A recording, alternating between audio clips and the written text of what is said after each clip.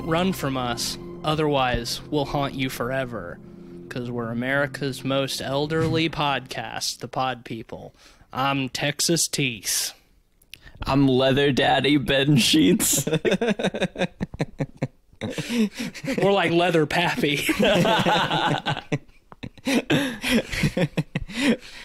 um, I am Cleveland Mosier, aka Wet Skin Mask Face.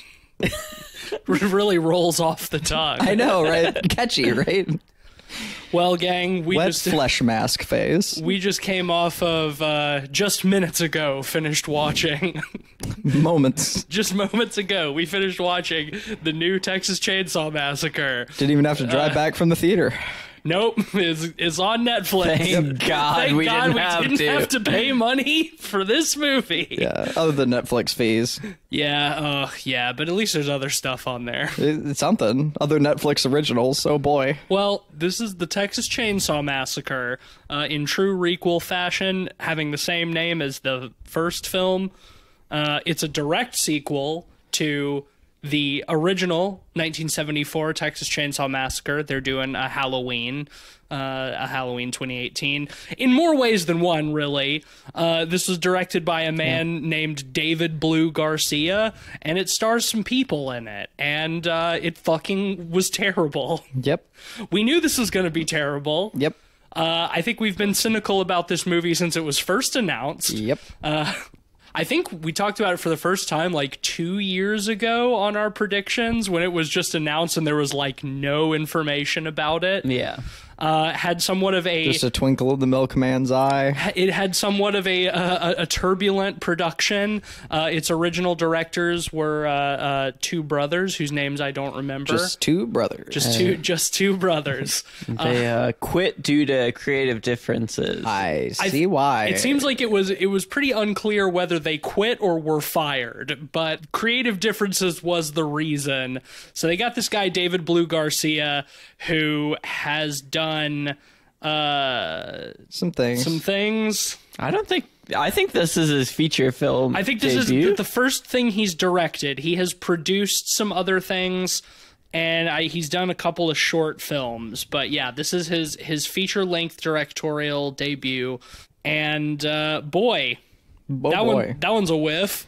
Yeah, I'll say it's steaming. swing and a miss. Big old steaming.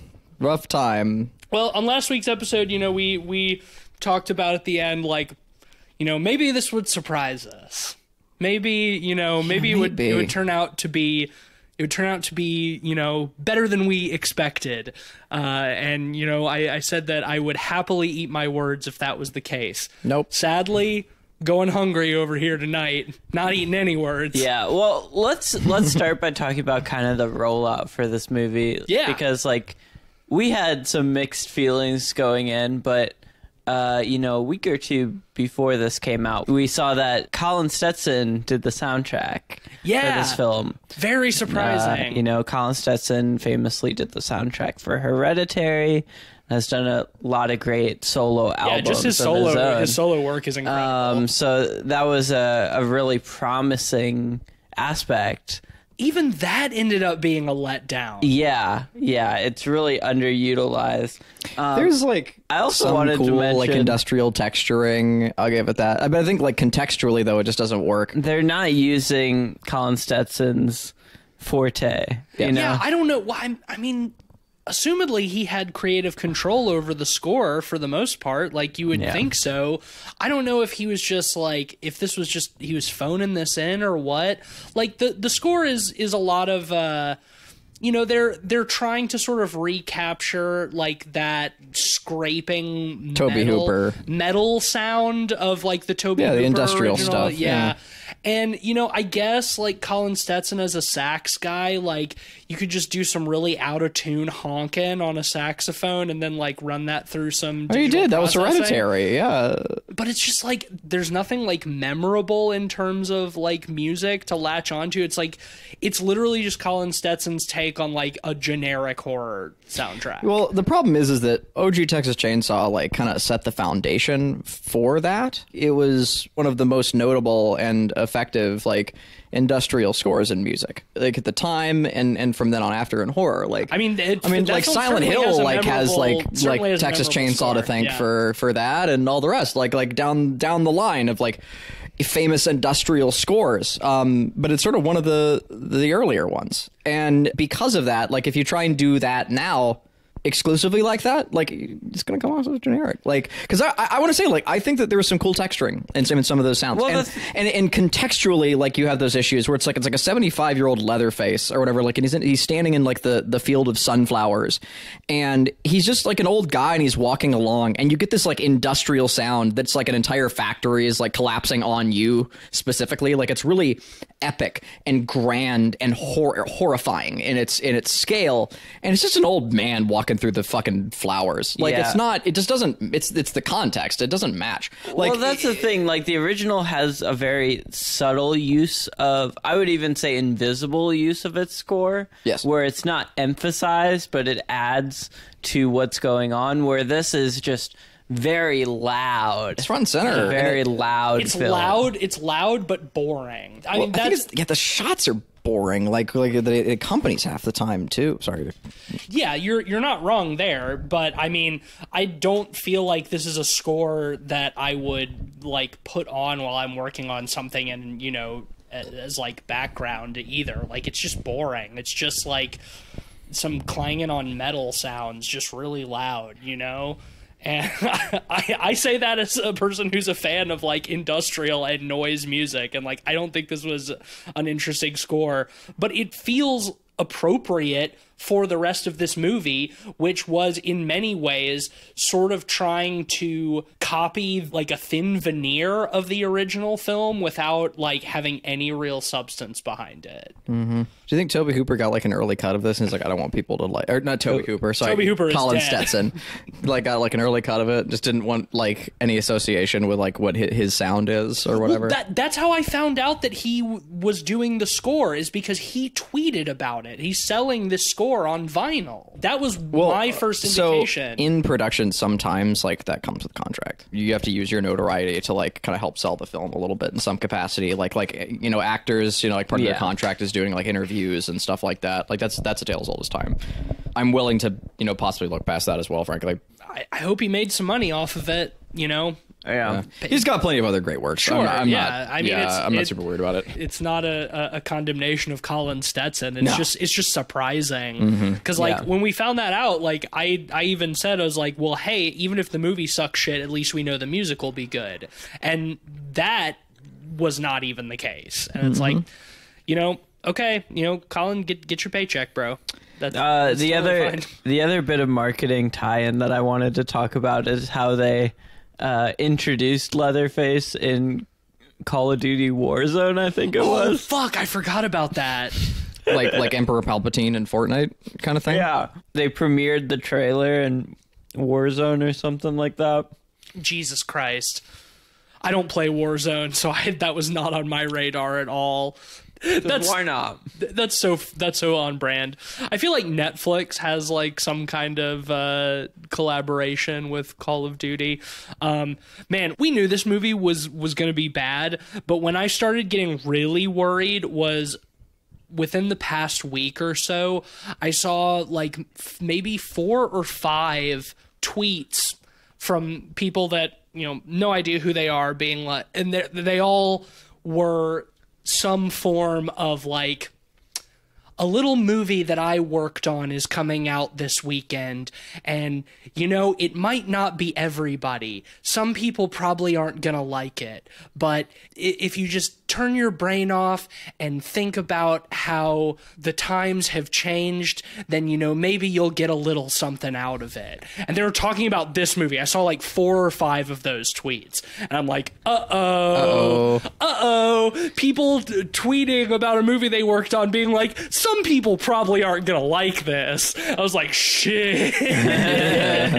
like, that's such a bad sign. Yeah. And trying and trying to be like Turn if your brain off. and trying to be like if you don't like it you're thinking too hard about it you just didn't you just don't realize how uh how times have changed how it's not the 70s anymore Yeah, man. Well, that's what happens when like idiots write your movie. Like, I, and I shouldn't say that. Like, I, I, but like, it's just I mean, this movie feels like it was written by idiots. I know, I know. I just like I, I work in the industry, and I, I shouldn't. Fede, Fede Alvarez has a story credit on this, which Yeah. is weird because like I generally really like his shit. Yeah, like, and that's why I'm I'm using like it. It, it feels like that. I, I don't I don't I just I don't want to say that it is or like I I just I don't like doing that even with movies I really hate. But few things drive me up the wall more than when films like get political without saying anything. Like when they reference politics. Yeah. So we've mentioned it before on the podcast, and it's I'm not ta- I'm not talking about wokeness. I'm talking about like when you reference things like school shootings.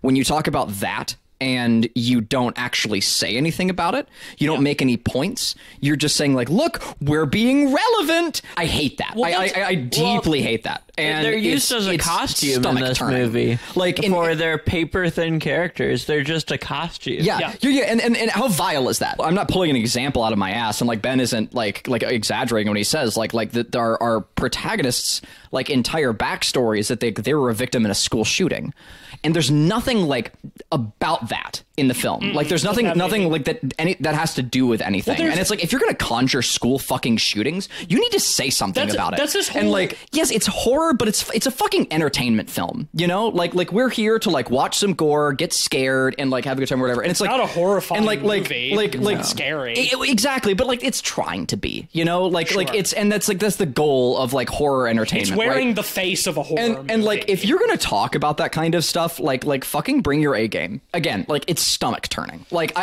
I I think I think it's pretty fucking vile to conjure school shootings without like actually like bringing anything to the table on that shit. I mean, Well, the honestly, the, most- fact that you have such a visceral reaction out of it, it means at least you got more out of this movie than I did. Yeah. Like, I can't even say that it's vile or stomach turning. It's just annoying. I think the it's most just, of- it's just toned You're right. I I'm- I'm giving it more the, credit. The, the most more- more absurdest part of that to me is she is essentially the stand-in for Franklin. Yes. And Franklin was, you know, wheelchair bound and instead she is a school shooting victim. Oh my God. And it's like, oh, God, you're they right. went from one quote unquote handicap to another. But by- by the end, but she the- hers is it. trauma. You know what? You're right. I shouldn't find it vile. It's pathetic. It is. It's yes. pathetic. Mm-hmm. That's, That's a better. That's a better word for Yeah. it. You're right. And you know, it's there's so much of that shit in this movie. Like school shooting aside, the school shooting thing is actually like such a small aspect of the movie. As you say, they don't do anything with it.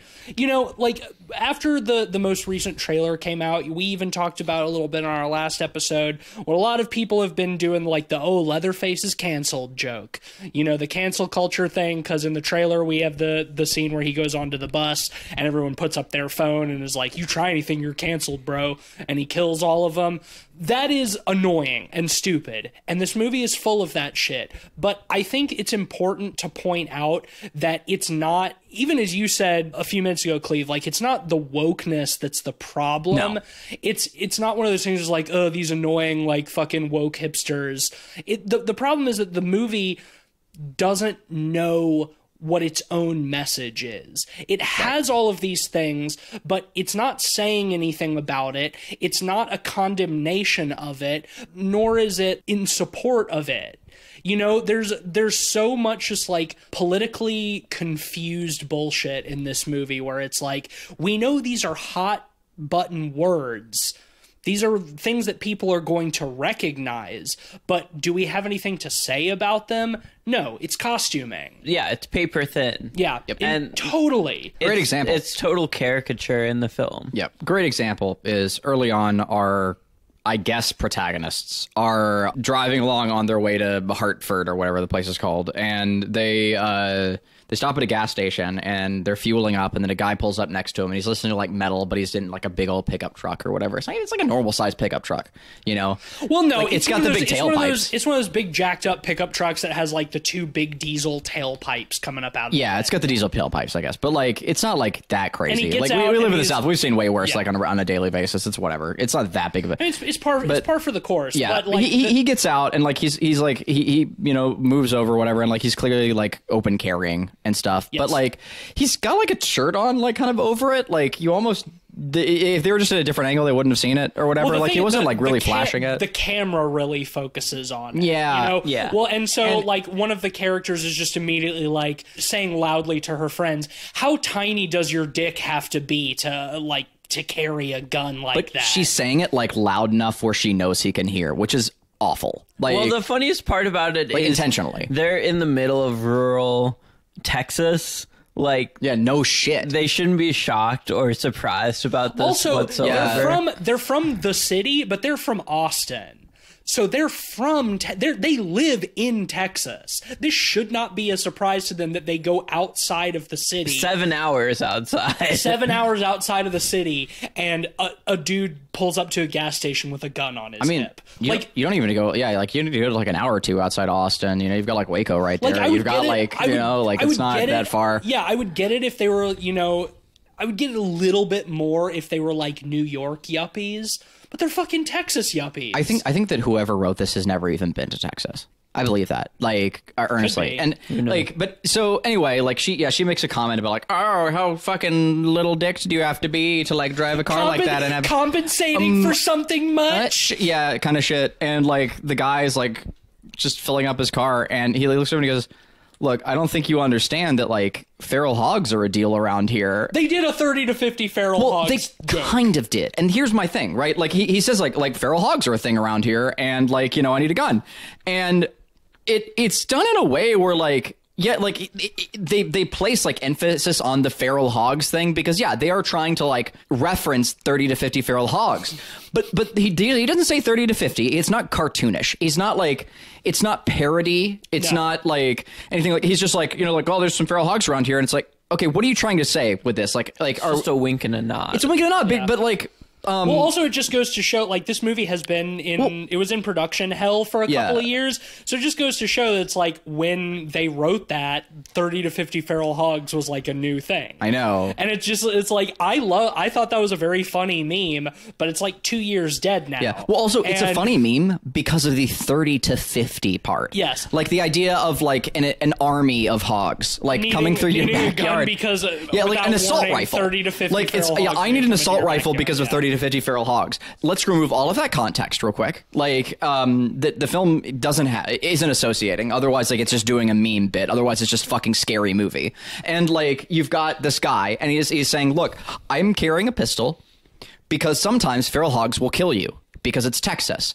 Because feral hogs will fucking kill you. Because they will. even like one feral hog will. justify No, he shouldn't. He, he- like well, no. Because it's a shitty movie. Like, yeah, absolutely. Yeah. What is it trying to say then? Like, are, because like later on, we're supposed to kind of set up to believe like he is a good guy, but they never like finish that thought. Um, well, I mean, yeah, he's never a bad guy. He doesn't do anything, you know, harmful to to and to them, and you know, he goes after Leatherface, but then he dies. You know, they're kind of setting him up to be like the hero. It's like, oh, you know, the the redneck is gonna come in and and save the rich city kids' lives, and you know, they're gonna find some common ground, and you know, by the end, our girl, our school shooting victim is gonna be, you know, in support of the right to carry a gun. And, you know, that kind of happens, but they killed this dude off Yeah. not super long into the Well- movie. So I think you know, and, and then to cut to cut forward a little bit, just so we can f- finish out this theme. You know, they they meet Mama like in the town or whatever, and she's Alice got Krige, Alice yeah. Krige. Uh, I, I just I just wish that she could land like a like a like a, a good character arc in a good movie at some point soon. That'd be cool. Um, there's like Hansel and Gretel was all right, but I mean, she was one of the better parts of that movie. oh, easily, yeah, yeah, Yeah. by, by miles. She's- I mean, she's, she's the better too- part in a lot of things. she's that she- too good for well, this movie. She's too good for a lot of the movies she's in. That's my point. Like, absolutely. Anyway, uh, her character has a Confederate flag outside of her house or whatever, Yeah. and she was just like, "Oh, well, sorry, I didn't really think about it that way. It was like my grandpa's or whatever." My and great grandpa's flag, it reminds me of him. yeah, or whatever. And it's like, okay, you know, like heritage or whatever. But like, you know, at least they, they, they say it with like some sort of like something like a character might say with some kind of justification or whatever. But here's here's the thing, right? She didn't know her great grandpa, but but also on top of that, like, I mean, maybe she did, but like, she she she is old as dust. Uh, her character is like old as dust or whatever. But the point is that what they're doing is that they're saying no one is safe from Leatherface. Like no one is safe from death because like the, the the redneck guy like he's set up to be kind of like maybe good, maybe bad. Our protagonists are the same where it's like are we supposed to like them? Who fucking cares? They're going to be assholes half the movie. And so I said like early on like are they doing a Midsommar? because Midsommar has like the kids from the city, like the college kids who are like f- the fucking worst, and they go there and they kind of deserve to die. They don't actually, but my movie logic, they do. They don't know? understand the culture. They don't understand You the know, culture, they're- but they're like our main of- character still does force, yeah. in Midsommar. Like, and so like we still get like the the like the world through the lens of the protagonist, and we know who to side with, and like and and the the con- the conflict there is nuanced and deep. Well, the thing about this movie is that it's so lazy that it though it sets up like the two opposing sides like the the the obnoxious like city liberal woke city liberals and then like the redneck country people with you know their confederate flag and shit it sets up those two sides but there's never a point in the movie where like those two sides try to relate to each other Right. or You they know- they don't even investigate what like a small town you know community would be like. Yeah. you know they they paint it through a lens that like everyone is hostile to each other. You see it with the sheriffs taking the old lady out. Yeah. If this was a small rural community they'd know her well and treat her much differently you know presumably. There would be a much different relationship with all the community members and you'd see some dynamics there. You'd see more you know if if we're comparing this to Midsommar we'd see more of the practices of that community pretty much all this movie has in terms of that small town is there is just no, there's no community. Yeah. that's the thing. Is like they they established that whatever the name of this town is, Harlow or whatever, is a ghost town. We'll get to the conceit of the film in a minute, which is really fucking annoying. But like. The only people who live in this town that we see is we've got Alice Krige, who owns the orphanage, and Leatherface lives there. We'll get into that the sheriff and his deputy and uh uh truck redneck yeah that's it those are the only members of the of the quote unquote community that we see other than that there's nothing there Wait, there's also the gas station guy. oh okay yes Does he get any payoff? guy. Uh he's the one who calls sally later to Oh, let that's her right. know that leatherface is back we'll And that's all he does. Yeah, we'll get to that we'll get to that We'll get to that. Yeah, I just, I just- I we've we've danced around like what brings the characters to this place in the first place, which is one of the most insufferable plot devices I've seen in a movie in a long time. The whole conceit is that this this group of young Austin yuppies are going out to this ghost town because one of them is like an Instagram influencer or something. Yeah, well, it's like the couple are like cooking influencers. Yeah, they're they're like in they're like Instagram cooking influencers or something, and they have like bought this town, this little ghost town in the middle of nowhere, Texas, to bring all of their yuppie friends out from the city to like revitalize the community or something like that. it's dumb. very it's very unclear what their actual goal is. so stupid. They want to start a little boutique community. little- yeah. Seven hours away from Austin. yeah, and the the, ga- the gas station no, as soon as we get started, like people will come out. You know. the gas station guy makes a, a heavy-handed uh, gentrification reference but i mean they the kind of thing that like a gas station worker, like attendant like seven miles out of Austin Yeah. would, would give a shit two They- shits about. they do they do bring in a busload full of their friends though Yeah. like that's the thing but like there's even so little payoff with that that only serves well, I guess there's no payoff, but it's it's underutilized. I think the whole point of the busload of friends coming in is just to set up Leatherface going onto the bus later and murder and murdering them all all at once. Yeah. It would have um, been funnier if they had like scattered throughout the town and the film was Montaged. like was like Leatherface like going through this little abandoned Texas town like finding these people who are bad at hiding and like pulling them out and like gutting them and shit. But instead they're like, ah, I don't know, fuck it, we'll just kill them all at once. Can you imagine like shooting on that bus too? That's probably days of shooting. that." Yeah, probably. I mean, Like, the thing is with the the whole conceit, it's such a broad and heavy-handed like caricature of like Gen Z, quote unquote, and Yeah. influencer culture and all the shit and it's like it has nothing to really say about any of that stuff. It uses it again as an outfit and a backdrop. Well, and it feels like it's like it's loosely trying to mock these people, but they end up being like the heroes. Again, it's confused. It doesn't know what it's trying to say or do. It's like they're not doing our, Midsommar. Our heroes end up being the school shooter girl and her older sister, who is one of the most insufferable characters in the film. Yeah. She's the one who's making the the fucking uh, like overcompensation little dick jokes about Well, the the truck guy. Yeah, I mean they kind of come around on that. Yeah, she she learns her lessons sort of. She feels bad because when they're trying to steal this old woman's home from her, She's literally the worst person. that she yeah, they not, not the old person, but like her, like the the the girl. girl, yeah, yeah, yeah. yeah. Like like she like they're they're all the worst in that scene. Yeah. like Yeah, yeah. like they they handle that like horribly, and I mean that's that's what sets Leatherface off. You know, after the events of the first movie, presumably he ran away from his family. We never find out what happened to them, and I guess he went to an orphanage, which doesn't make sense. He, was an a, adult. He was an adult man, um, and a, a deeply mentally unwell adult man, and like they wouldn't just put him in an orphanage. He would be sent to like They wouldn't uh, put him in one, but like I can see like the per, like a person who owns an orphanage like taking sympathy on you know like someone. Yeah. Yeah, but then all it takes is one Lenny situation. Right. To Also, like spoil the whole bunch. Yeah, does that does that mean that like yeah, Leatherface was like doing janitorial work like at an orphanage where there were like children and he wasn't like murdering them Yeah. or like, you know, being yeah. awful? Like it doesn't Well, make any she, sense. She she keeps calling it, oh, that's one of my boys. He's one of my boys. And it's like we see the picture of him with like all of the other kids and like his face is scratched out. And it's super fucking confusing because this film treats him like he was like a teenager when he went to the orphanage.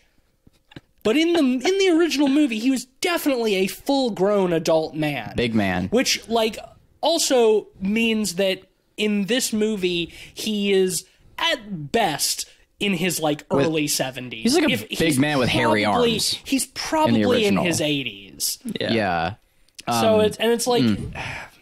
They they they they Michael Myers him in this movie. You know, they turn him into like an unstoppable killing machine, and it's like I get it, it's a slasher movie or whatever, but it's like But you're it- just it- seeing what him haul ass through all these set pieces, and then you think, oh yeah, this guy is eighty something years old, Right. just hauling They- Well, ass. the, the thing the thing is, is in the original movie, all of the people he kills is because he takes them by surprise. Mm-hmm. Look, man, Literally, like every single one of them, he catches them by surprise, and then at the end, when it's just Sally left, then she's on her own, and he's scary because he just is like tireless. He just relentlessly chases her through the forest with his chainsaw. Well, and you know, and the original has such a less is more approach, um, to the point where I, I think my favorite example of this is in the original where you know Leatherface opens the door and grabs the dude. yeah, red And- door. Yeah. slams it, bangs him on the head, Yeah. hauls, hauls him through, and slams the door. It's so good. Yeah, it's Yeah. so good, and we get almost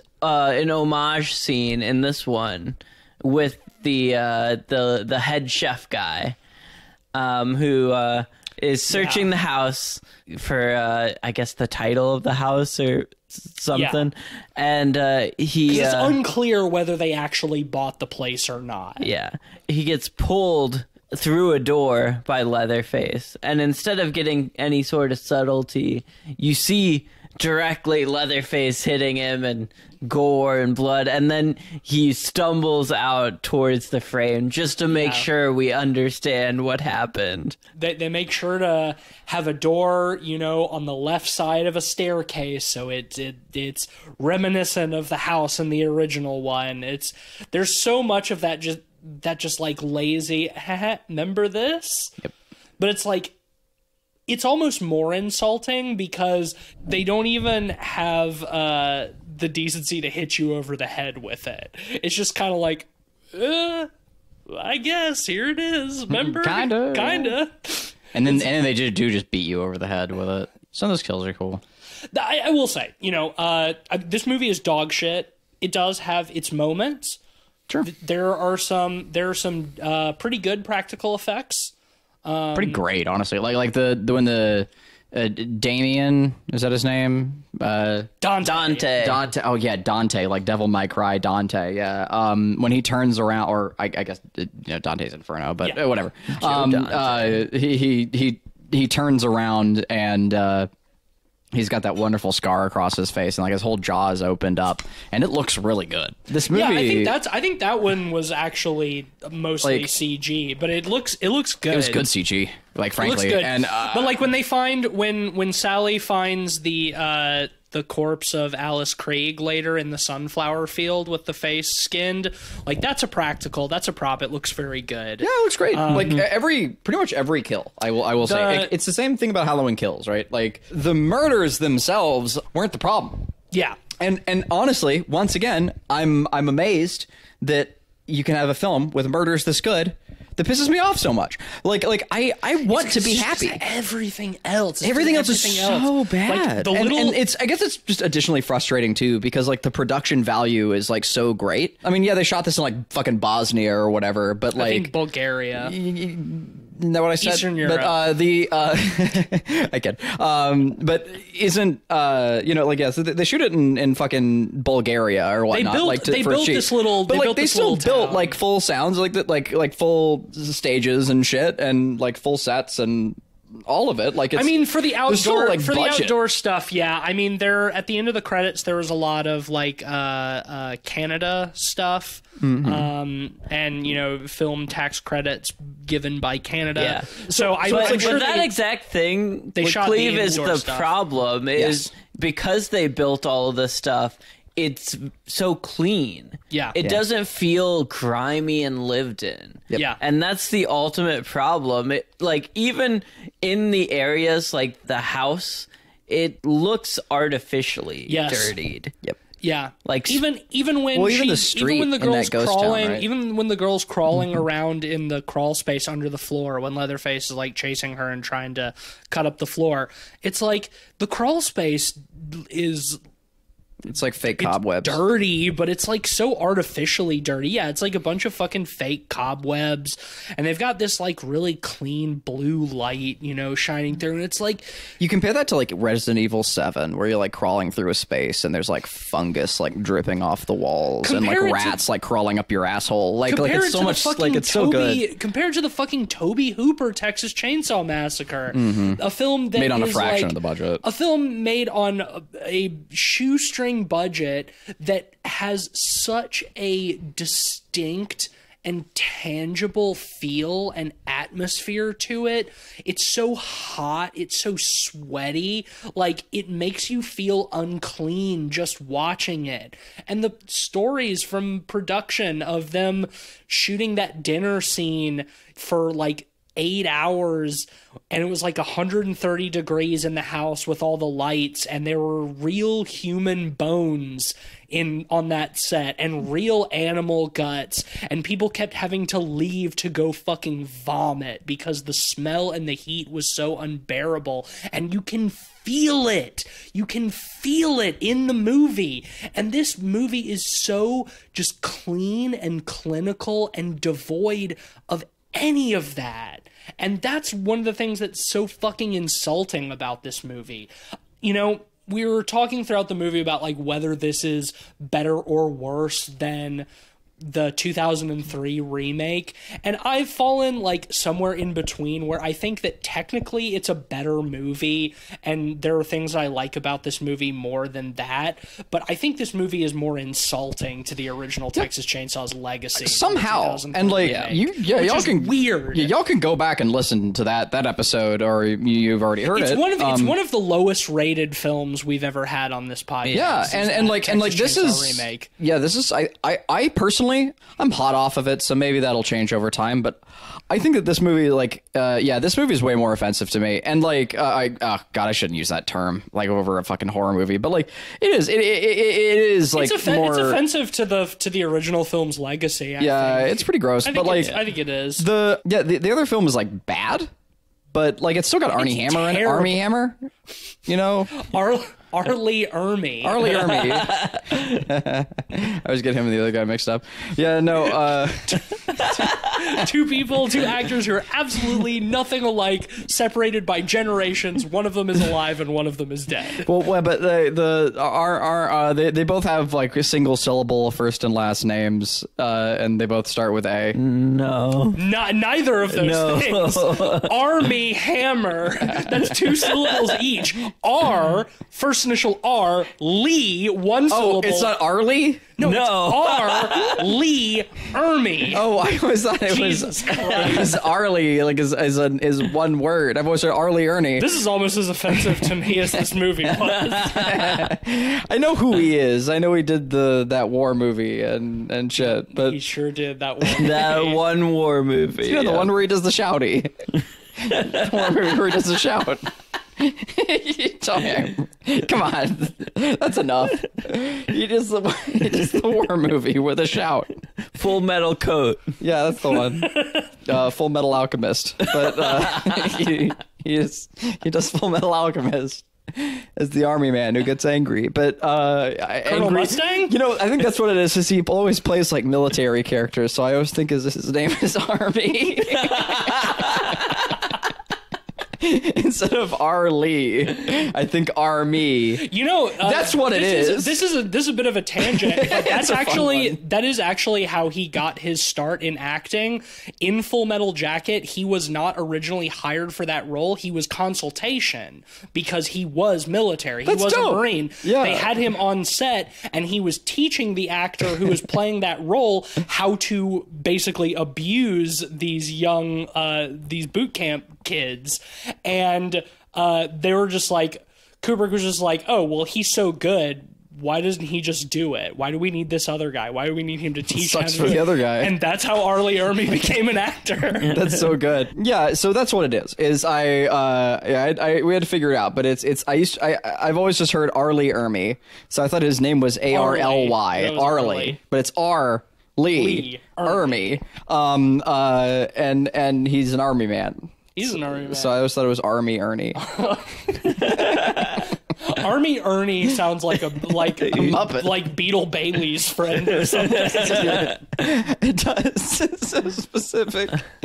Fucking Beetle Bailey. God damn, that's a that's, a a pull, boomer right? ref if there ever was. that is a boomer reference. Yeah. But when I was a child, Yeah, the Sunday funnies. when I was a child, I did used to I used to love It's reading so the. Sunday funnies. Oh god. I yeah, used to love dude, reading same. the Sunday funnies, and, oh, and Beetle Bailey. Beetle Bailey Yeah. was one of them. Beetle he was, Bailey. He was always uh, there. He was OG. always there right next to Haggard the Horrible. Haggard the Horrible? Yeah, Yeah. not Hagrid the horrible. That's Harry Potter. Yeah, but anyway. We should I'm a get mess. back on the. I'm a mess. Oh, I, anything to um, not talk about this movie for a second, but the whole real I, I did bring that up for a reason, and that is that that's at least that that the 20 2003 like Yeah. Chainsaw Massacre movie, like it had some goofy fun stuff in it, and like somehow at least making Leatherface into Darth Vader, which is like a big point I had about that movie, it has some merit. Like at least it's still trying to like pay tribute, you know? Like it's paying tribute horribly, but like I don't know, like it's at least it was fun. Because Darth Vader is fun. It's Darth, not fun. Like, See, it is not fun at all. Oh, it I was, think that was an awful just- movie. I think you're just too fresh thing off is- of this yeah, movie. but yeah, like, the That thing is, a fun the thing is with this one, it really it does the falls thing, I guess, into the trope of its time, much like the 2003 one did. Yeah. And it doesn't do it well, just like the 2003 one did. You know, like I think the qualities of this one are things that are generic in its subgenre of requels at this point. Yeah. You know, the the quote unquote creative kills, like we've seen these kind of kills a billion times. Yeah. The gore, all you know, the the the blue and ye- uh, orange lighting everywhere. The Laurie Strode character coming None back after special. Oh 50 my years. God. awful. You know, it's just so trite and like We did even, uninspired. know, I think- honestly, it's uninspired. I do think that the people who wrote this, like, and again, it's why, like, I, I use the term, like, it feels like, and again, feels like, I'm not saying it was, but, like, it feels like it was written by idiots because I feel like whoever wrote this was being earnest to themselves. Like, they really felt like they were doing the right thing and were just deeply, deeply misguided. Like they felt like, yeah, we're gonna represent like victims of Columbine. We're gonna represent, uh, you know, like Leatherface, and we're gonna go back to like the roots of it, and like it's gonna people are gonna care, and we're gonna care, and and and just missed all of the points. That's my belief. I don't know. It's probably a mix of both, and then you've just got marketing bullshit. Well, yeah, I think on top of that, I think it's just being overbaked in development hell. Yeah. Like I think one thing I remember hearing about is the the Franklin stand-in girl, the one who was in the school shooting. She was originally also supposed to be in a wheelchair. Oh, geez. Right? She mm. became paraplegic from a school From the shooting. school shooting, and then Yeah. they decided not to do that. Yeah, I think there was some controversy around the time of that announcement because they had cast a non-paraplegic person. Oh my God. To be the Oh, so the they listened to. Oh, oh, so so here's here's the real mistake this movie did. It listened to Twitter. That's the real Correct. mistake. Let's People talk about mistakes. the the Laurie Strode stand-in for a little bit because her Yeah. inclusion in this was particularly baffling to me because you know at the very beginning of the film we get kind of an intro sort of recap of what happened of sorts they're playing this Texas Chainsaw Massacre documentary on the TV in the gas station. Yeah. They're retelling the story of how she was the the only survivor and for 50 years she's been searching for Yeah. Leatherface. After she got away, she became a Texas Ranger so she could try to hunt him down. And for 40, 50 years, she's been hunting Leatherface. and has never with no find him. leads, even though Jesus Christ. even though she knew the family was around the area as well. Yeah, she she could identify the father who owned the gas station. She could identify the the brother like she knows where they live. And that's another thing is like this movie makes no effort to be like what happened to the rest of the family? How did Leatherface end up at this orphanage as a 30-year-old man? You know. Also, it just Well, she Like, she she moves and lives like 10 minutes away from this ghost town, right? And over this the course of you know, presumably like 50 years, she had never any inkling of an idea that Leatherface was so close to her. Right. Yeah. Doesn't make any sense. And, you know, it just, like, I know that the legacy of this movie, you know, uh, of the original movie is, or, the franchise rather, is Leatherface as this figure. But in the original movie, yes, he's the one who chases her around with a chainsaw, but it's very obvious that he is like a barely functional, mentally ill adult who is being abused by his family. Who Yeah. i- who is deeply, deeply unwell and is basically acting as muscle for his psychopathic cannibal family. It's almost tragic. It is. He is. He is a.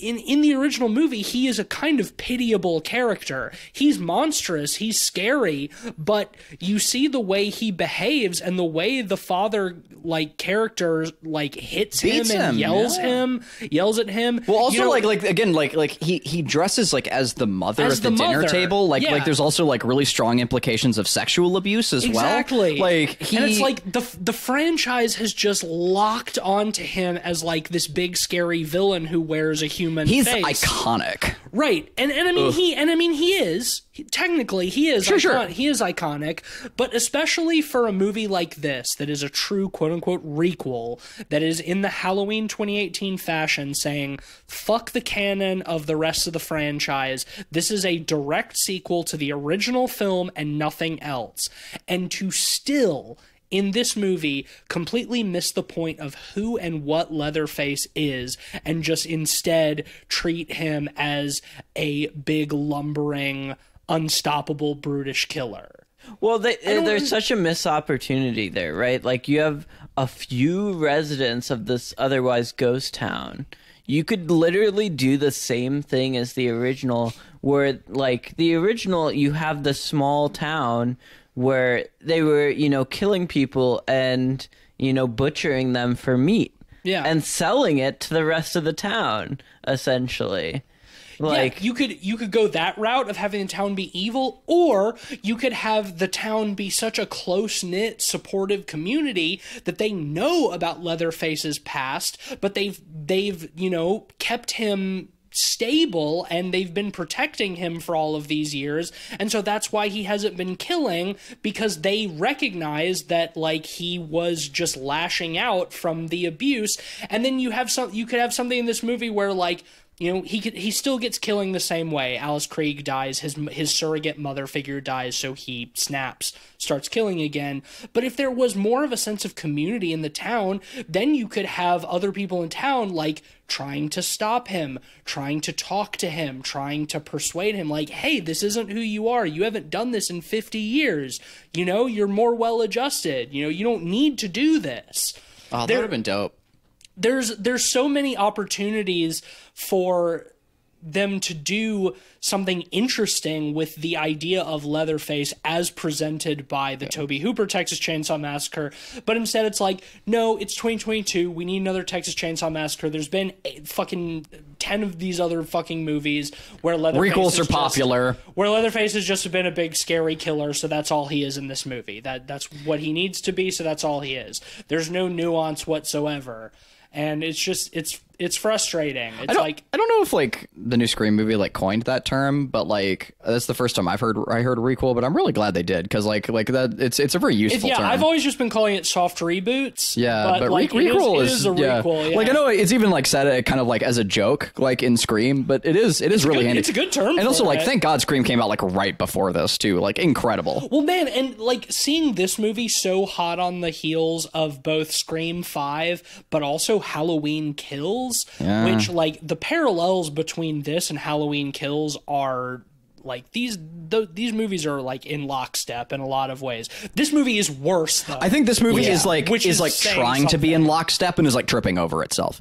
Well, like it's like yeah, trying to. Be, and again, we did not like Halloween Kills at all, and uh, like it, it makes Halloween Kills look great by comparison. this movie this movie the production started in like 2019 2020 so it's pre-halloween kills but post-halloween 2018 and it very much feels like the the genesis of this movie was trying to be like hey This look worked. at look at what they did with with the halloween 2018 remake they did a good remake that's just a sequel to the original and you know like does a good job of paying homage and it's just and then it gets caught up in development hell and it happens to come out just a few months after halloween kills which totally undid all of the goodwill that halloween 2018 created this is why you got to protect your legacy, man. This kind of shit, you know, like what Amazon's trying to fucking do with Lord of the Rings. Like, mean, you got to fucking protect your legacy. Shit, the, the the legacy of Texas Chainsaw Massacre was, gone. been long gone for ago. a long, long time, The last Texas Chainsaw film we got is one that I actually have seen, which was Texas Chainsaw 3D,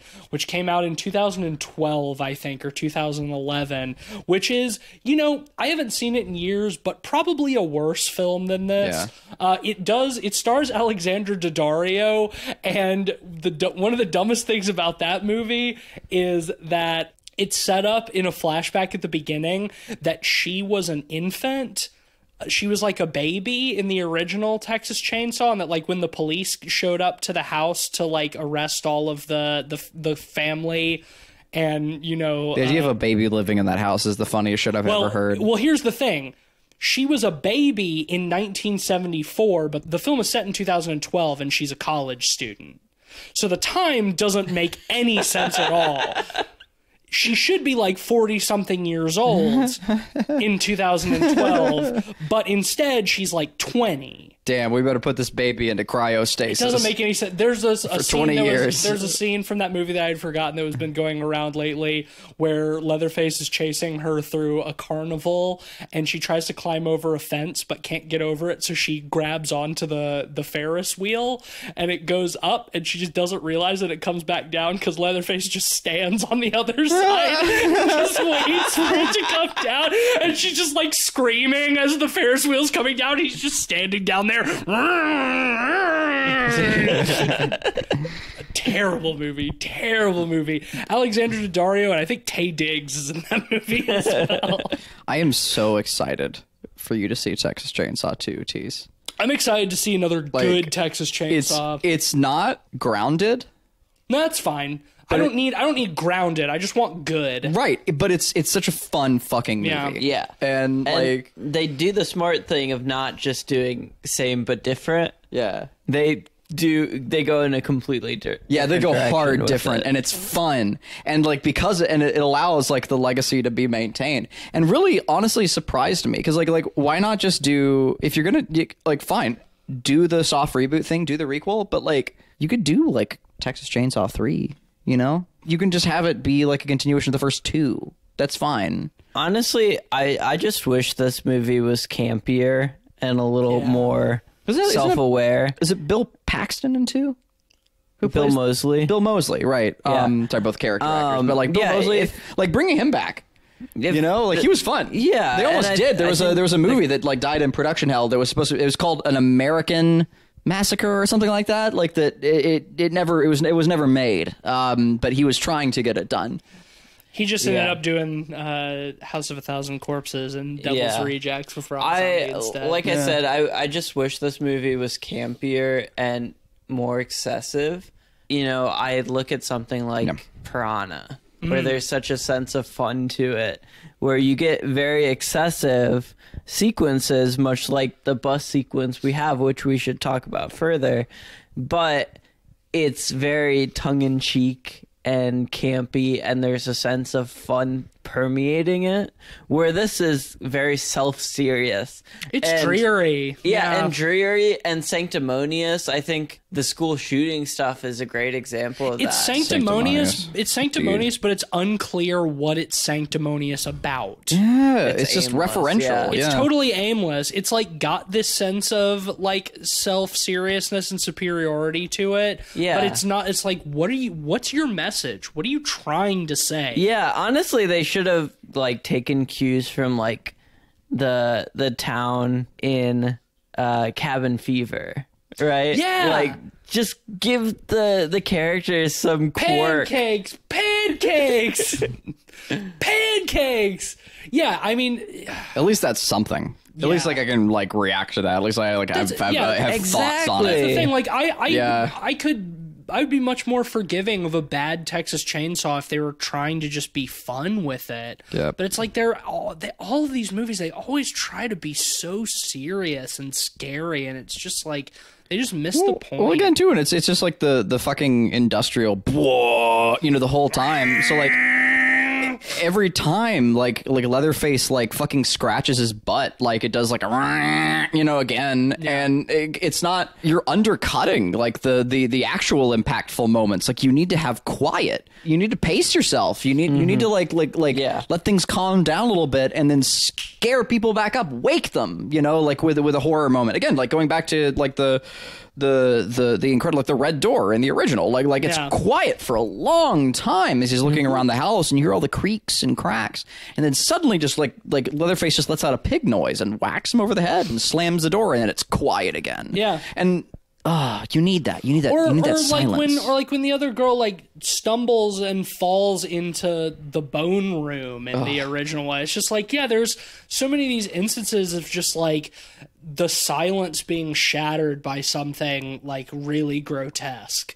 And then just like it the violence is so quick so short and then it's over. I think in the uh, in our original review, I called it ambient horror, and that's really what it is. It's you know very environmental horror, and it's less about the actual violence and more about like the oppressive heat and nature of the uh, the location. Well, yeah, I mean it's it's real violence. It's not it's not extended, it's not exaggerated. It's sudden and unexpected and horrifying and then it's over. And just like that. You know, and that's that's what makes it feel real. That's what makes it feel authentic. That's how violence happens in real life. Yeah. You know, you don't get you don't get the the build up to it. You don't see that. You don't know, ooh, somebody's about to die. It's just like all of a sudden it happens. Mm-hmm. All of a sudden you're driving along and all of a sudden you're T-boned by an 18 wheeler. and, and here's the thing too like this is like like we're millennials, like going back and watching that movie and saying that, you know, oh, like Oh, yeah. we're we're we we have been so primed by jump scares throughout our youth, and it's Well, that's a film with a fucking enduring legacy that's timeless. yeah, but like like the, Unlike the fact this- that no one can still imitate it. That's the thing is like like it still it still scares you because like it's so well done, you know, like and it, it understands how to do that, and it doesn't have like fucking bullshit violins building up to that sequence or whatever else. Oh, It's yeah. so it's such it's such a, a film of the 70s too. Mm-hmm. Like honestly, the 70s is my favorite decade for horror because it, it they just did horror differently, and the fact that the original Texas Chainsaw is still so good to this day, 50 years later. This movie is already dated. It's all like the the 30 to 50 feral the feral hogs joke Yep. is already a dead meme because they shot this and then sat on it for two fucking years before they could release it. Like mm-hmm. that's already a dead meme and the movie came out today. Yep. It's really fucking frustrating. I will say I would like to talk about a couple of the things that I liked about this movie. a couple of the very small things that I liked Sure. about this movie. We've talked about the kills. Pretty much all of the kills are good. Yeah. Uh, redneck dude gets his head smashed in with a hammer, and they built a fake head and smashed it. Looks very good. Look great. I actually uh, like the Leatherface design in this movie. I like how Leatherface looks aesthetically in this movie. I don't like the way his character is. You mean handled. wet wet flesh mask? You should elaborate on that. Oh yeah, yeah, I should, shouldn't I? Um, yeah. So this is this is one of the the first like really like kind of stupid moments to me is. Mama uh, has like a heart attack. They're they're they're in the they're in the sheriff mobile and they're trying to get her to the hospital. She dies in the back. Leatherface doesn't take well to that, and he, he kills the cop in the back of the car in a really cool way. He just snaps his arm in half again, like with like superhuman strength. Yep. And like like and then stabs him in the throat with his arm with his bones. bones? Yeah, like the radial radius and ulna, just like like into his fucking like throat, like fucking cool dope. It makes no goddamn sense, but who cares, right? Like like I'm I'm happy I'm to put for that, that shit. Yeah, I'm Yeah. happy to, for that I'm shit. happy to put aside the fact this man is 78. Like that, I, I don't care. That's go for it. Who who cares? But like uh anyway, he he does that. That's dope. And uh the car stops or whatever, and he takes the sheriff guy out. Um, the other guy in the car gets shot. Who it doesn't really matter. But uh he he then just out on the road in the middle of nowhere, just like takes a knife and like cuts off the dude's face perfectly, which is not how No, skinning he works. takes he takes a piece of glass and he cuts off Oh, Mama's. oh, he, right. He cuts With a- off Mama's face. right Yeah. with a piece of glass, shard The of yeah. glass. Yeah, because that's that's gonna that's efficient. Um, I'm I'm willing I'm willing to give them that it's not the first time he has peeled somebody's face off. Uh, it's a little clean, but uh, well, it's clean. Also, like it's a mo- it's a movie. Like, who cares if like car glass doesn't actually break like that or whatever? Like, Yeah. it's no one cares. But the thing that, that's just weird about it to me is like his name is Leatherface. It's not Skin Face because he he doesn't he doesn't just take people's faces and wear them. He he takes people's faces and like suns them. He knows how to tan hide. Like that's a whole point. They're leathery faces because it's human skin when it's been tanned is that's I mean that like tan skin is leather. It's not wet flesh face. Like he doesn't wear like a dead person like like I think like you're I think you're getting a little too hung up on this on this aspect. I would. I just. I went into this thinking it would be like old Leatherface, like still living in the same like kind of home, like not the same home exactly, because of course not, uh, because they would easily be able to find it again, like after the events but of he's the kept. original. But you're expecting that he's kept his his faces. yeah, He, he's kept his leather. His it was his thing. Why would he quit doing it? I, yeah. I think uh, just a tangent off of that. Like I thought there was one really clever point with uh, Leatherface taking Mama's face off earlier um, when Mama's talking to uh, one of the main girls. Yeah. She says, "Oh, I wish I would have known you were coming. I would have put my face on." Yep. And then he puts her face on. Yeah. And you know, like I, I kinda I kinda get it, you know, like in in the original he's like at the dinner table, he's wearing a woman's face with makeup on, like she's his surrogate mother, she dies, he must become mother, so he has to cut her face off. And I mean the much like the first the original movie, this this film takes place in the span of one day and one night. So he didn't have time to tan the face. I'm sure if he had had time, he would have done everything right, but he was in dire need of a face, so he just How cool would it have been though? He just made do. But I'm if like, like I, like she died or whatever, and like several days passed, you know, I mean, I'm not saying that it wouldn't be cool. and like the hipsters had had enough time to like set up the town or whatever, I'm not, the I'm, Zoomers. I'm not saying whatever. that it wouldn't be cool that it couldn't be done. I just don't. I the fact that the face has not literally been tanned into leather is not a, is is not one of my many hangups with this movie. Yeah, Uh, it's just his name's Leatherface. Yeah, but what are they gonna do? Change his name for this movie? He had he had Yeah. to he had to make do with what he had. Yeah. he's just wearing some. Call him Fleshface. He's just he's just wearing a, a a bitch's face. But I think the mask looks pretty good. I like it. He looks kind of like a sad clown, He does look like a sad clown. and I like that. Actually, he looks like the clown in Dead by Daylight. He looks like a sad clown. He's got a very droopy, kind of frowny face. Unlike the other ones, he hasn't sewn multiple pieces of face skin together to make like a, a full head mask. You know, he just kind of rips her face off and drapes it on his own. It's just one one solid piece of face, mm-hmm. and I think it looks. I think it looks good. Piece of face. I think his character is handled badly, but I appreciate the aesthetic of Leatherface in this movie. One of the only things I like about this movie. How'd you feel about the color correction? I thought it was very vibrant. generic and bad. Yeah. It- you it know looks that like- blue orange color palette is so generic Netflix movie. Have, have you guys ever seen the meme of it's like the poster of like Revenge of the Sith next to the poster of some Steven Spielberg movie next to the poster of something else, and they all have like that same like orange blue color palette. And so it's man, I can't wait to fit watch this whole trilogy. Have you ever seen that? It, it really just sums up to me like how I felt about like the orange blue color in this because like it, it like every like movie every poster, movie. yeah, every movie poster and like from like the the late '90s like up through the 2000s, like like ha, ha, did, did that orange blue poster. I think using blues in this film is such a misstep because, you know, the first film is all about heat and Yeah. r- really feeling that oppressive Texas heat. And by emphasizing blue and rain and nighttime so much, It doesn't feel you don't, hot. yeah, you don't get None that of- none- mustiness. None of our characters are sweating in this movie. They're all picture perfect. Their hair is perfect all the time, even when they're covered in blood and goop and, you know, running around. It's just everything is so fucking clean that I don't like. I like the the design of Leatherface, but the aesthetic of this movie in general, I think is a is a big fucking miss. The last thing that I liked about this movie was one particular moment. I pointed it out when we were watching. it. I said, I thought that was clever. One of the girls is hiding under the bed, and redneck dude is coming up the stairs with his gun, and Leatherface hears him coming, and he goes and he stands behind the door, waiting for him to come in the room so he can jump out and murder him.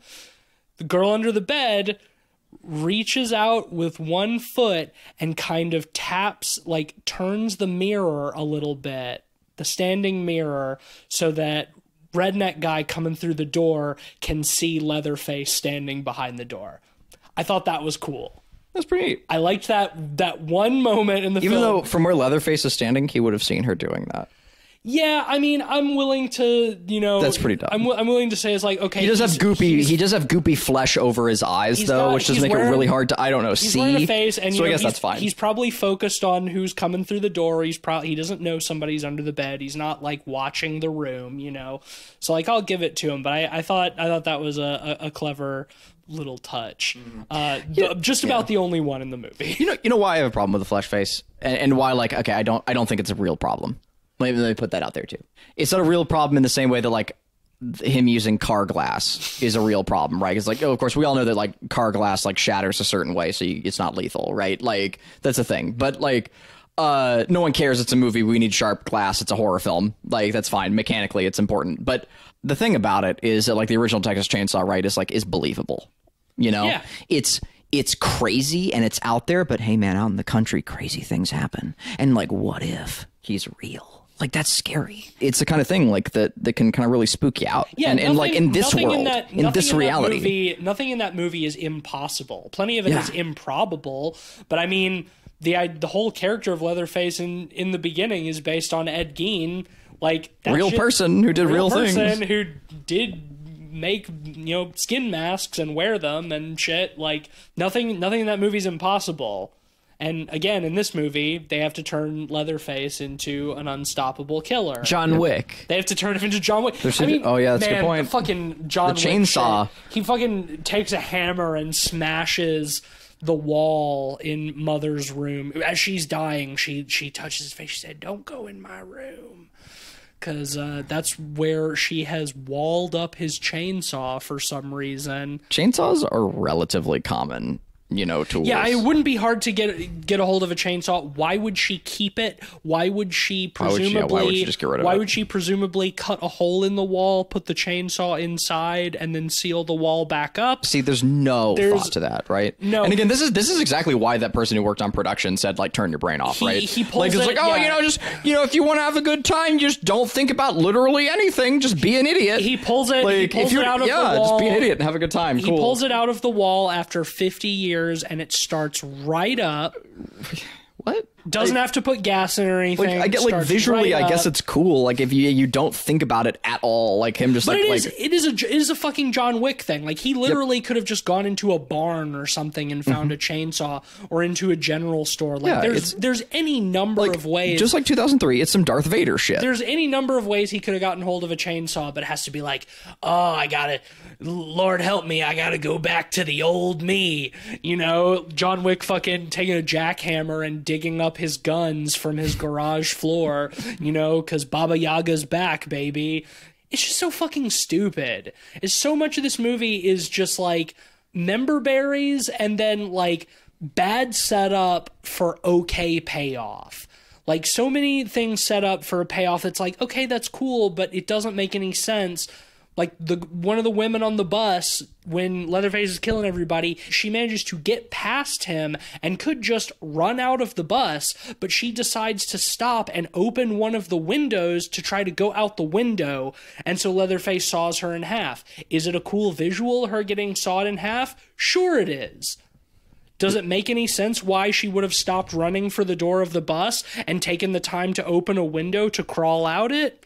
No, it doesn't. And like the bad setup makes the payoff unsatisfying. Yeah, it doesn't feel earned at all. No. like like there's nothing like like it's a it's a really cool payoff to to something that wasn't set up. It's a great punchline to no joke, and uh, yeah, it's like I'm I'm sorry, but like foreplay is important.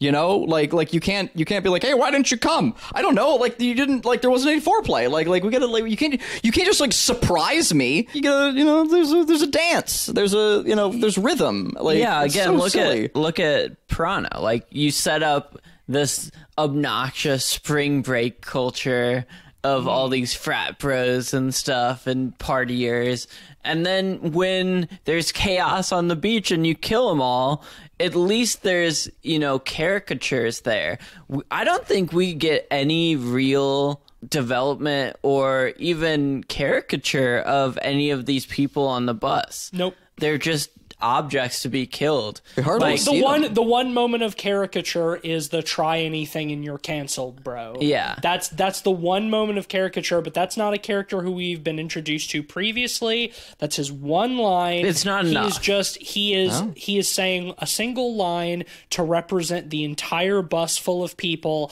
and then they're all getting killed and why do I give a shit? Yeah, if And- they would have had more, honestly, Dude, scratch the cancel culture stuff, like scratch the "you're canceled, bro" part of it. Have more of the obnoxious out of towner stuff, Yeah. and it would have been more justified and Are you more telling me this town doesn't have a boutique bakery? I can't get How- Wi-Fi here. I- Where am I supposed to get my bran muffins? I cannot believe this, but you know what we're we're we're recommending, right? We're asking that this movie was more like Halloween Kills.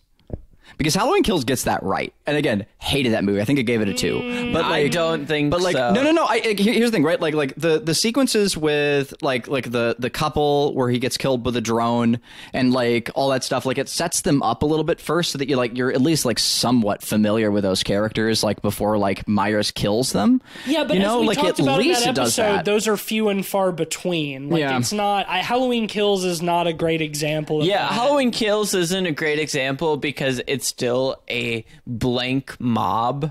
you know, yeah, like towards the end it, of that yeah. bit, but like yeah, helmed, like, helmed by these uh, remember these characters who were literally children in the first movie yeah, Yeah. ass characters you know yeah it, uh, man we we sort of we mentioned the return of Sally. Uh, we didn't we haven't talked about like what she actually does in the movie at all, not which much. is basically nothing. Yeah. Um, it's it it's not Marilyn Burns. They didn't get you know they they it's not it's not literally a Halloween Kills where they got uh, the original actress back, but she comes. They tried in, to pull it off though. Like if you don't know your shit, then you would think that. like oh wow, sim- they, gave brought her her a similar haircut. Yeah. uh, she's wear- she comes in wearing a cowboy hat with a shotgun. She walks into the house. She points the gun at Leatherface. Is like, "Uh, you remember you? Do you remember me? She like names her friends. It's like, why would Leatherface remember you? You're just one of like many people. Like, Well, also had- like oh, it yeah, like you just okay. happen to be the one who got away. If And- Leatherface was like a wild monologuing villain, it wouldn't make sense. Like if, if Leatherface was like like like yes, this was my nefarious plan, maha, like I'm Leatherface. Like like if if, if that was a thing, like sure, like uh, even then it would be dumb because it's like no, I was just trying to kill everyone. I don't remember you at all. But like, that's one instead- thing. but instead. he's a mentally disabled elderly man. who has never spoken. yeah, He's who's- mute. who's a He is- character, He yeah. is mute, as far as we know. Like like he he he he makes pig noises. He literally grunts He and squeals. squeals like an animal. And Yeah, he's yeah. feral. He's a feral man, and uh, like like she is upset. And, and and so staggered that she decides not to get her 50 years vengeance on this man. She's been trying to find him for instead 50 years. Why does she not kill him? Instead of walking in and just immediately blowing his head off like she should have, she does that and then is so shocked and appalled when he doesn't remember her that she literally just lets him walk out the door. yep, all the way out of the house. Why he doesn't kill her there? I don't know. He goes to her car where the two girls are waiting and tries to kill them. And, you know, then Sally shows back up and shoots him a couple of times. But because he's now an unstoppable Terminator, you know, he shrugs the bullets off. He de- he deflects he deflects the bullets. Oh my god. He deflects the buckshot at one point like a fucking Jedi deflecting a stormtrooper laser. Yep. Uh, he does that. He's He, he Darth deflects, fucking Vader. He, deflects. He He's deflects literally her, Darth uh, Vader again. He they deflects the one point. of her shots with his cha- with the blade of his chainsaw, which you know, like. I ain't a, I ain't a scientist. been two decades I ain't a scientist or an engineer or nothing, but I feel like a shotgun blast would, at, at the very least, bend just about any chainsaw blade, especially one that has been sitting in an attic for Well, fifty years. Also, but well, well, well, no, no, but like like shotguns shoot pellets, dog. Like like it's uh, she's not firing slugs like Yeah. i- out, out of that twelve gauge. Like it's it's it's pellets. You he's like. What like at that at that point like like he's about as 15, far. He's, he's about as 10 far feet away, away? as we are right Yeah, now. like- Five, like- six feet. like his whole body is hit by that. presumably, presumably, maybe he blocked it before it has a chance to spread. Not that range. Not yeah. I mean, well, it's it's fucking stupid to begin with. But the point is, is then he impales Star her. Wars, he yeah. impales her on his chainsaw and holds her up in the air. And it's very epic, and then throws her into the trash. She's somehow still not dead. She's able to shoot him again later. But I mean, I don't. I don't even care to get too into the nitty gritty here. Our fucking characters. uh shoot Leatherface and he falls into the water and they think he's dead. Uh, you know, school shooting survivor girl, she used a gun to shoot Leatherface, so she's uh she sees Well, and then the other sister uses the chainsaw, chainsaw. against Leatherface. she like uppercuts him with the chainsaw. I thought that was kind of funny. Not gonna lie. it's kind of funny and he falls backwards into the pool of water but again like why didn't she like stab him or like cut his head off or something because of course they needed him to be able to come back uh, which is just just horrible for me because I I was saying at the end towards the end of this movie like I really needed Leatherface to die here so these same people can't make another one of these uh, that if they're gonna bring him back, then they have to do another reboot and try again all over. Uh, but no, he comes back, and I, I will say the last little scene is pretty funny because they like get into their test their like self-driving Tesla and they like program it to the autopilot to take them back to Austin. Yeah, all their friends have been killed. They think Leatherface is dead. Yeah. And and instead of like I don't know sticking around to make sure that like presumably like their friends have families, you know? Yeah, like, instead of like they- getting they somewhere have, and like calling in the state police or something. Yeah, like, get help. well, we're just gonna go back to Austin. The older sister's like, I always believed in you. You're the strongest person I know. And then Leatherface appears behind her, smashes the window, drags her out. And cuts her head off. But what I thought was particularly funny is that uh, the school shooting girl is like hanging out of the sunroof of the car as it's driving away because it's on self driving. Driving at like 10 miles an driving hour. like 10 too. miles an hour down the street of this like ghost town like screaming as leatherface holds up her sister's See, decapitated head the thing about that, think about the earlier version of the script for that. If she was paraplegic and couldn't leave the car, that would make sense. You know, it, Sure. it'd still be a little contrived, but like, she is fully mobile. Yeah. She could easily get out of the car or, you know, anything. yeah like- probably didn't want to get out of the car Yeah. and be with leatherface but what's what really is like the the last little uh like cherry on this fucking turd sundae is that as you know the car is driving her away leatherface does his little swinging the chainsaw around dance like he does at the at the end of the Which makes no sense because one- at the end of the first one he's he's he's dancing. He's not he's hopping mad. yeah he's not dancing. He's he's angry. She's gotten away. He's Yeah. he's furious. Like he's he's raging you know? And in this i guess it's victory he's he's doing uh, but it's just like it's yet another thing. It's like it it's just like remember this? This happened in the first one but it totally misses like what makes that particular ending of the first one like so good mm-hmm. and uh, yeah and, and then it's over uh And it's over. much like this podcast should be soon do y'all want to rate this do y'all God, have- yes. do y'all have Yeah. anything else No, I I want to I want to forget this movie. one star out of five Uh, I'm gonna do something that many people should have done long ago. Leatherface, you canceled. Half star. Oh my Um, god. I will say, I will say, just to you know, bookend our discussion.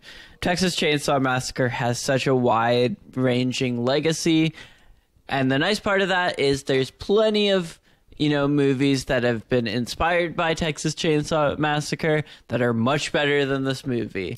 Go watch Honeydew. Uh, Dude, you the know, new the new Ti West X movie that's coming, is coming out, out, pretty soon. It looks like a good Texas version of Chainsaw Texas Massacre, Chainsaw yeah. Massacre. Maybe watch one of the several dozen good spin-off inspired movies instead Sure. of this. Flaming Or- turd. or just go watch the original never Yes. gets old or watch the sequel, which I'm sure we'll be doing at some point very, very soon. Um, yeah, uh, I think uh, it would be hard for me to give this movie less than a two, uh, considering like it's a horror movie, it's a slasher film, and all the kills are good. But the fucking Columbine bit just really rubbed me the wrong fucking way. And also hearing that like apparently the character was originally a paraplegic, and like that they got like backlash for like not having representation, and instead of like getting someone who actually was paraplegic or whatever, like they were like They just bullied into just not entirely. having like a paraplegic person at all in the film, and it's like cool. So now there's like no like quote representation or whatever of that at all. Fuck everything. Fuck everything about that. That's really fucking stupid. Um, not that I really have a dog in that race, but fuck it. One point five. Yeah, I feel like I'm being generous, but yeah, one one point five. At least some of the kills were neat. well, Fuck this movie. It, it is it, it is definitely worse than Halloween Kills. yeah for sure Definitely Uh, worse than Halloween Kills, and I and I and I do think uh, because it doesn't have ar- ar- army ar- army man in it it, it's not as it's not as good as 2003 either. And at least 2003 doesn't have like this modern like bullshit of like referential politics without actually saying anything. Uh, at least at least that is just genuinely dumb, and it does dumb like Darth Vadery things with it. But this thing does too, but it's worse. And like, yeah, I would I would rather have like shitty Darth Vader uh fucking Leatherface than than this movie. I think uh, you rated this one higher than the 2003. Did I? I think yeah. so. And Halloween Kills, I think. One star. you convinced me. One star. Fuck this movie. Whatever. Yeah, I mean, I I think that They just, just numbers. I'm just, it's, it's all abstract. like like if like the like if we're yeah like the, it's all relative. It's a gauge. Like you know like like rating is uh is an estimation. It, it, it can change just how like what I had for fucking dinner that evening. Like Well- yeah, anyone who takes ratings that seriously, like whatever. I mean, I I personally do still think that the 2003 one is a is a worse film, but like, man, this close. one. This was fucking terrible. Uh, between the three of us, it has received an average of 0.8 out of 5. wow. Uh, you know, I think we can all comfortably say that if you have any affection for the original Texas Chainsaw Massacre, you can give this one a big old fucking pass. yeah, don't waste your time. Uh, next week, we've got another new movie. Uh, another movie where we're surely going to get into p- some political discussion uh, because we're going to be watching Shut In, the Daily Wire Ben Shapiro produced uh, horror film starring uh, ab- actual right wing madman Vincent Gallo. Returning after uh, like a, a 15, 20 year hiatus. We will talk, I'm sure, at length about Vincent Yes. in the next episode. Uh, True so- enigma. Yeah, this is. Uh, I I think this is. This will be the probably the first movie we've talked about on the podcast that likely has like an explicitly political agenda.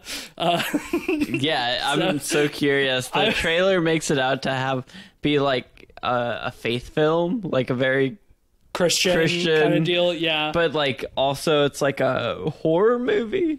I feel like that combo you don't see very often, so I'm It's- I'm curious. it's gonna be interesting. It's gonna be interesting. It's gonna be that. Um, well, we did rate this one. Oh, Oh, we did. yeah, uh, we we, did predict this this one. one. Yeah, shit. we we predicted Texas Chainsaw Massacre. So for Rotten Tomatoes, um, I predicted it would have a six. TCU predicted a twenty-three, and Cleve you predicted a seventy-eight. It came out today. Do we even have Rotten Yes, Tomatoes we do. yet? I wish we it was a 78. Right now, it's sitting at a thirty-two. Ah, okay. I mean, I wish the movie was good enough to merit a 78. I don't wish that this movie got a 78. I would never wish that. I'll I'll take it. I feel like I win that one by sheer luck of we're talking about it on the day it comes out. Yeah. I think that rating is going to go down in the coming Yes. days. We'll revisit that next but I'll week. but I'll take my Table I'll it. take my victory. We'll revisit it will. next week if it changes too drastically. And what were uh what were our, Um, predict- our yeah, so collective average? rating, uh, I predicted it would get a one out of five. Uh, TC predicted one point eight. Oh, and Cleve you predicted four. out of Nope. five. Well, I certainly Yeah. didn't get it. Ben, you're you're very close. Yep. In fact, you would have been spot on if Cleveland hadn't lowered his rating. there. I definitely did not make that rating uh, after. I, I, I definitely made that reading before I found out about the "you're canceled" uh, Oh, yeah. scene. I think Oh, before yeah. that aired. Yeah, But uh, well, which I never saw. I saw that in this movie for the first time. I didn't watch that trailer before watching this. sponsor time. It's sponsor time. Ringing that sponsor bucket bell. Only one left. Yeah, oh my God, there's only one sponsor left. Well, shit, we're gonna need to get some new sponsors out here. I'm sure the sel- the shelf will replenish us. By Um, Yeah, next, uh, next episode. yeah, you know, joining the Patreon might might even help in in some capacity. Oh, Um, uh, we're sponsored by ourselves. We are we, we could be. Uh, all right. Um, uh, well, you know, this week it's always nice to have a lobster around the house. Um, that's an old quote from Garfield and Friends. Uh, uh, but anyway, uh, yeah, this this episode uh, this week is brought to you by me lobster that you're so fond of. Snip snip. I, the snip snip was written in parentheses. I, I didn't have a choice. I had to read that, otherwise I would I would die. I mean, yeah, that's the a part of, the sponsor that's shelf. Part of the sponsor. you got to read the whole sponsor, you know, even when it, it's something wild. But uh, yeah, You're uh, fond of me lobster. I hear you're fond of it. Damn ye, uh, damn ye, damn your farts. Look at ye. Look at post, post and cringe. Post and cringe. That's that's what this movie did. Look at you, post and cringe. Look at ye, post and cringe. That's very good. Oh man. All right. Uh, that does it for us this week. Uh, like Cleveland mentioned, you can support us on Patreon at patreon.com slash podpeoplepod.